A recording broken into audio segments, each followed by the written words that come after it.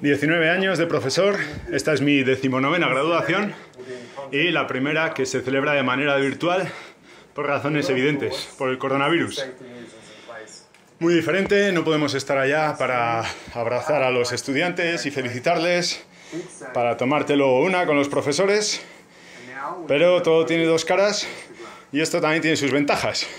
No te tienes que poner el traje y puedes hacer unos kilometrillos con la bici mientras. Así que muy diferente, pero la alegría de ver graduarse. A los chavales, la misma.